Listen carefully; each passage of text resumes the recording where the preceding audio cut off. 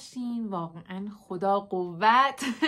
بهتون تبریک میگم که یکی از سختترین آزمون های کل زندگی رو واقعا تونستید سپری کنید و دووم بیارید. زنده بمونید. خب اصلا اینکه شما چی کار می‌کنین تو کنکور چه رتبه به دست میارین و چه دانشگاهی قبول میشین یه طرف. این که بتونی یک سال همچین فشار وحشتناکی رو تحمل بکنی و زنده بمونی یک طرف. خب همین که زنده موندی واقعا آفرین. خب بچه ها می‌خوایم راجع به این صحبت کنیم که بعد از کنکور چی کار کنیم؟ این دوران پر از ابهام پر از فکر و خیال اینو چجوری سپریش کنیم؟ به عنوان کسی که چند سال سه سال تجربه همچین بازی رو داشتم و بعد از اونم حالا حدودا یه 6 7 سالی هستش که دارم مشاوره میدم و چند بار این مسیر رو طی کردم. یه سری نکات هست که فکر می‌کنم به دردتون بخوره. بهتون میگم حالا اگر که نظر دیگه ای داشتین این پایین بهم بگید اول از همه این که شما دیگه سعی کنید که خیلی به اون کنکوری که دادین فکر نکنید. اگر که دوست دارین کنکورتون رو تهیه کنید حالا با کلیدی که سازمان سنجش میده یا قلمچو اینا سری کلیدهای پیشنهادی میدن تصدیق بکنید. ولی چیز اجباری نیستش. مثلا من خودم خیلی بدم میومد از اینکه برم مثلا یه دفعه خیلی سورپرایز بشن. کسی البته نمی‌تونه نشه کنکور به صورت قطعی پیش بینی کنه ها. ولی دوست داشتم حداقل همون لحظه بفهمم که چی کار کردم. اما اگر که اینطوری نیستین مثلا اگه بفهمین خراب کردین دیگه هیچی دیگه. تا چند وقت مثلا روحیتون خراب میشه و اینا که هیچی. بیخیالش بشین نیازی هم نیستش که حتما بخواین تصیحش کنین. خب توی این بازه چی کار بکنیم؟ بچه ها اول از همه چیزی که خیلی خیلی خیلی بهتون کمک می‌کنه توی این تایم خودشناسیه. می‌دونم ممکنه به نظرتون مسخره بیاد یا اینجوری بیاد که یعنی چی؟ چجور خودم بشناسم؟ ولی واقعا آدم تا وقتی که وارد اجتماع نشه خودش رو نمی‌شناسه. هر چیزی که تا قبل از اون می‌دونه یا تئوریه یا چیزی هستش که اطرافیانش اونو گفتن. و خب طبیعی شما هیچ وقت نرفتی تو جامعه هیچ وقت نزدیک تجربه نکردی لمس نکردی که بفهمی که یه کاری دوست داری یا دوست نداری توی یه چیزی مهارت داری استعداد داری یا نداری. حتی خیلی وقتا چیزی که مثلا ما فکر می‌کنیم توش استعداد داریم به خاطر اینکه دیگران بهمون گفتن. یه کاری رو انجام دادی یکی بهت گفت ای آفرین معلومه خیلی استعداد داری و خودت به اون نتیجه خیلی وقتا نرسیدی.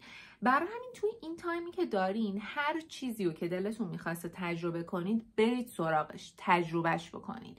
خیلی بهتون کمک می‌کنه که برای زندگیتون بتونین یه تصمیم خوب بگیرید. می‌دونم یه ماه time کمیه. و برای خیلی چیزا شاید مثلا فرصت نکنید که اونطور که دلتون می‌خواد برید جلو و سرچ بکنید و این حرفا یا امتحانش بکنید. ولی ایراد نداره بهش فرصت بدین. یعنی توی این مسیر حتما حتما قدم بردارید. یه نکته دیگه که می‌خواستم بهتون بگم و فوق العاده مهمه اینه که بچه ها درسته میگم از کنکور دور باشین ولی راجع به رشته ها حتما حتما تحقیق کنید. حتما.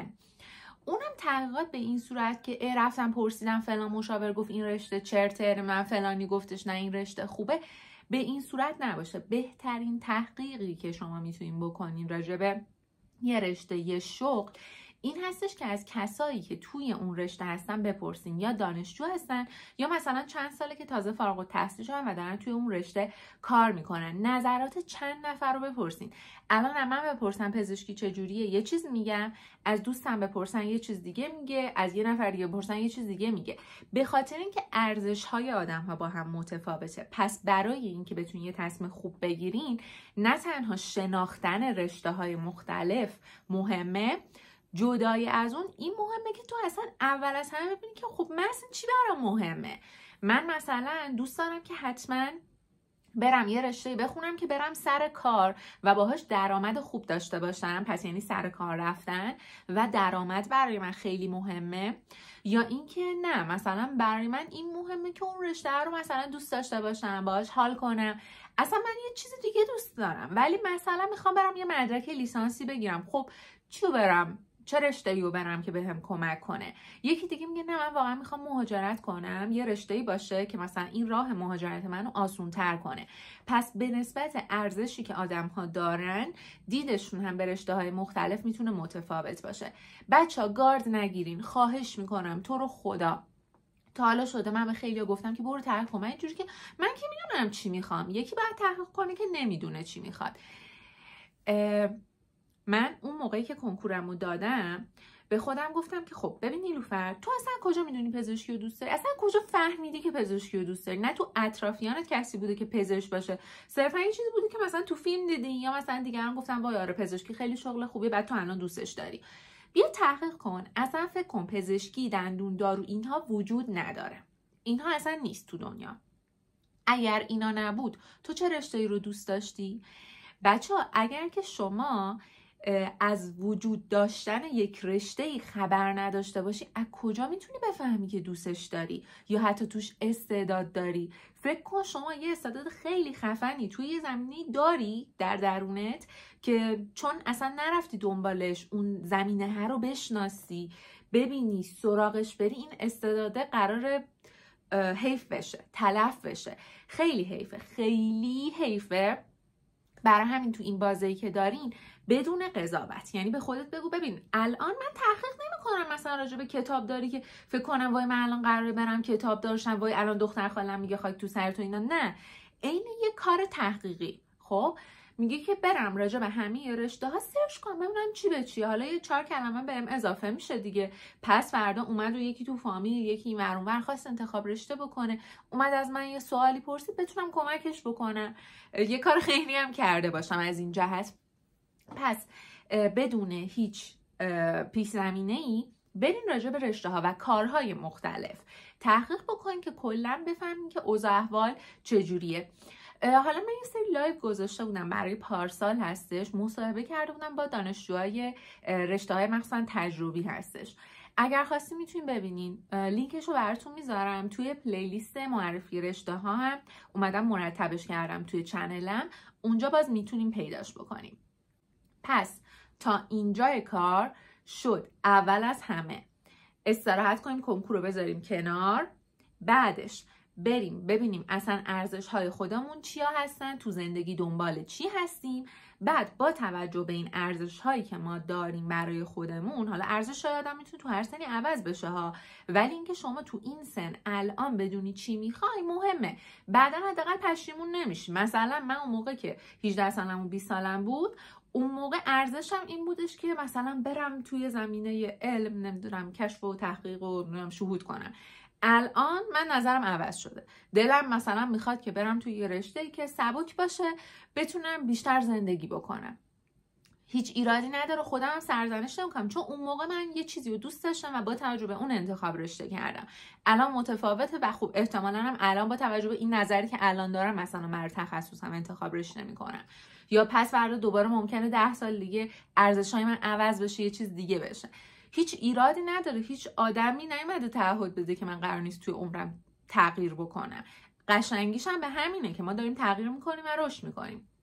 ولی مهم اینه که الان خودتو بشناسی. با نظر امه و خاله و این و اون نظراشونو بشنو ها ازشون هم کمک بگیر. ولی اینطوری نباشه که بدون هیچ شناختی از خود داشته باشی یکی بیاد مثلا بفرسته هول بده بره توی یه رشته دیگه. پس اینا رو بهش توجه کنید می‌خوام چند تا از چیزایی رو بهتون بگم که الان که حدودا هفت سال گذشته از کنکور خودم به شدت به شدت حسرت دارم و خودم رو بابتشون سرزنش می‌کنم. اولیش این هستش که من خب به خاطر اینکه چند سال پشت کنکور مونده بودم احتمالا خب شما این تجربه رو داشته باشین بعضیاتون از دوستام خیلی دور شده بودم و دیگه با هیچ کدوم از دوستای دبیرستانم اصلا در ارتباط نبودم. چون اونا حالا نمی‌دونم یه سریاشون رفته بودن توی یه رشته ای رفته من دانشگاه یه سریاشون مهاجرت کرده بودن و اینا. و منم به خاطر اینکه می‌خواستم درس بخونم دلم نمی‌خواست که با کسی صحبت کنم. یا اصلا به خاطر اینکه کنکورم رو گن زده بودم و دلم نمیخواستش که کسی بیاد از نام بپرسه که چیکار کردی؟ وای تو که درست خیلی خوب بود چرا اینجور نشدی؟ و مثلا یه وقت حس بکنم که بقیه ممکنه مسخرم بکنن یا خوشحال بشن از شکست من ارتباط نمی‌گرفتم با دوستای دبیرستانم. و حتی هنوز هم می‌تونم بگم که تقریبا هیچ دوستی از دبیرستان برای من باقی نمونده. این کار نکنین بچه اگر دوستی دارین حالا می‌دونم سال کنکور انقدر آدم تحت فشار روانیه ممکنه یه مقداری حالا هم به خاطر حجم درس نتونه خیلی با دوستاش ارتباط بگیره. هم که کلا انقدر کنکوری جوریه که تو رو تبدیلت می‌کنه به یه آدم حسود. به یه آدمی که همش دلش می‌خواد با همه رقابت کنه همش داره خودش رو مقایسه می‌کنه. اما اگر سالهای قبلش با کسی آشنا شده بودین با دوستی آشنا شده بودین که واقعا حس کردین که ارزشاتون مثل همه کنار اون آدم بهتون خوش میگذره دوستش دارین رابطتون رو باهاش حفظ کنین. بچه ها ما آدمیم انسانای اجتماعی هستیم. حالا من الان نبینید که اینجوریم من به شدت خجالتی و درونگرا بودم و سر همینم بعد از اینکه پشت کنکور مونده بودم چند سال واقعا تنها شده بودم. هیچ کسی رو نداشتم که مثلا نه بتونم مالا بجز خانوادم باشون صحبت بکنم. هیچ کسی هیچ کسی. و این خیلی بده. چون دائم همش خودم مقایسه می‌کردم. الان که چندین سال گذشته حالا من یه سری از مثلا دوستامو رفتم توی مثلا اینستاگرام فالو کردم و اینا مثلا میدم که ای مثلا اون کسی که بغل دست من میشست توی دبیرستان و من اون موقع فکر می‌کردم که وای چقدر مثلا باهاش رقابت دارم و اینا همون سال اول رفت مثلا رشته حسابداری خوندش الان داره توی یه شرکت خیلی خوبی کار می‌کنه. شاید تو اون مرحله مثلا اگه یه کسی فهم می‌خواست کنکور بر رشته دانشگاهی ببینه مثلا گفت ای نمی‌دونم تو باختی اون برد اون برد تو باختی مثلا یه همچین مقایسه ای الان من می‌بینم که سر یه شغل خیلی خوبیه درآمد خوبی داره. حالا اونطور که من دارم بیرون می‌بینم دیگه. ازدواج کرده زندگی خودشو داره و به نظر میاد که خوشحال باشه. منم کلا اصلا یه مسیر متفاوتی رو رفتم. دوباره ما بقیه دوستان همینطور. این مقطع رو نبینید که یه جوریه که انگار شما همتون با هم دیگه رقیبین. هر کسی انگار می‌خواد جای اون یکی رو تنگ کنید تو قبول شی پس یعنی من قبول نشدم. اینا همش برای همین امساله و می‌دونم واقعا فشار روانیش خیلی شدیده. اما این تیکه میگذره و بعد از الان اینجایی که من هستم بعد از این هفت سال انقدر به نظرت مسخره میاد که اینجوری که من چرا بیشتر با این آدم ارتباط نگرفتم؟ من اینو مثلا خیلی دوستش داشتم. و انقدر زمان ازش میگذره که به خودت میگی که دیگه الان حتی نمی‌تونم مثلا دوباره باهاش دوست بشم. و هرچقدر سنتون میره بالا پیدا کردن دوست جدید خیلی براتون سختتر میشه. دوستی با آدم ها مستلزم وقت گذاشتنه. شما باید وقت بذارید برای آدم ها تا بتونید باشون رفیق بشین. هرچقدر سنتون میره بالاتر تایم کمتری دارین که بتونین دوستیاتون رو نگه دارین. ولی الان فرصتشه. الان که کنکورتون رو دادین و کار آنچنانی ندارین هرچی رقابت بوده حسادت بوده این چیزا بوده. بذاریدش کنار و دوباره با دوستاتون ارتباط بگیرید اینا واقعا می‌تونیم بگیم که سرمایه های شما هستن. بچه ها اینکه تو زندگیت کسایی داشته باشی که میگی ببین من کلی دوست خوب دارم که مطمئنم اگر یه جایی مشکلی برام پیش میاد کمکم می‌کنن یا حتی مثلا کمک چیز خاصی هم نمیشه حداقل یه کسی رو دارم که باهاش حرف بزنم صحبت کنم. یه گوش شنوایی دارم توی زندگیم. البته بازم میگم اینا به شرطی هستش که خود اون آدم آدمی باشه که خوب باشه یا حداقل با شما جور باشه. کسی که مثلا می‌بینی که خودش همش دنبال اینه که بخواد بهت استرس بده یا مثلا بابت نتیجه کنکور بخواد اذیتت بکنه و این حرفا منظورم همچین دوستی نیستش طبیعتا. یه نکته دیگه که می‌خواستم بگم در مورد فامیل و اطرافیان خودتون هستش آشنایان خودتون هستش. اگه بخوام به صورت خلاصه بهتون بگم سال 97 که من دیگه آخرین باری بودش که می‌خواستم کنکور بدم سال آره 97 خاله من روز سیزه به در فوت کرد خاله من از سال قبلش کنسر روده داشتش. و خب اینو متوجه شده بودیم که مثلا حالا سرطان سرطان پیشرفته هستش و این حرفا. ولی خب هیچ فکر نمی کردیم که مثلا انقدر زود این اتفاق بیفته که خانمو بخوایم از دست بدیم من تا سال 97 تا همون عید فروردین بودش دیگه. خیلی خوب درس خونده بودم. خیلی واقعا می‌تونم بگم صد خودم رو گذاشته بودم و سیزده به در که این اتفاق افتاد. من حالا جدای از اون بحث اینکه وای مثلا خالم از دستم خاله ای که خیلی به ما نزدیک بود واقعا برای من مثل مادر بود و چون خودش دختر نداشت خیلی ما با هم احساس صمیمیت و نزدیکی می‌کردیم.